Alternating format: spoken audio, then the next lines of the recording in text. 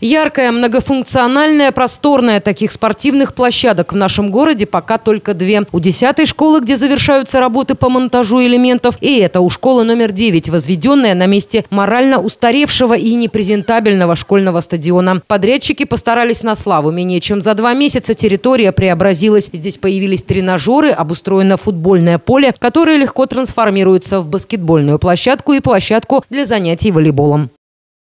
Я, как выпускник этой школы, всегда хотел, чтобы уроки физкультуры проходили на улице и на специально подготовленном месте. Сейчас, наконец-то, такая возможность существует, и мои младшие братья, может быть, мои дети будут на этой площадке, я очень рад, что она здесь есть. Тут очень хорошая баскетбольная площадка, очень хорошая волейбольная тоже.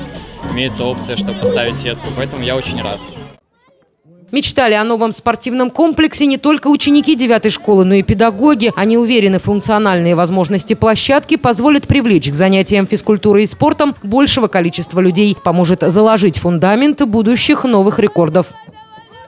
Для нас это подарок замечательный, потому что у нас юбилей школы, и мы отмечать будем в октябре месяце. И, конечно, это прекрасно. Спасибо правительству Мурманской области за то, что вот они с таким э, пониманием подошли к этому вопросу, как э, постройка, э, построение этой открытия спортивной площадки.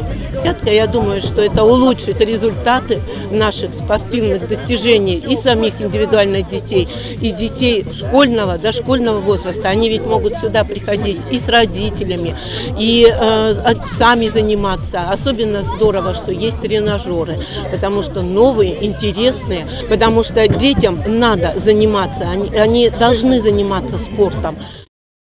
Несмотря на то, что новая спортивная площадка располагается на территории 9 школы, доступ к объекту будет открыт для всех желающих. Проводить здесь время с пользой разрешат всем жителям микрорайона Нива-3 при условии бережного отношения к спортивному инвентарю и соблюдении чистоты и порядка.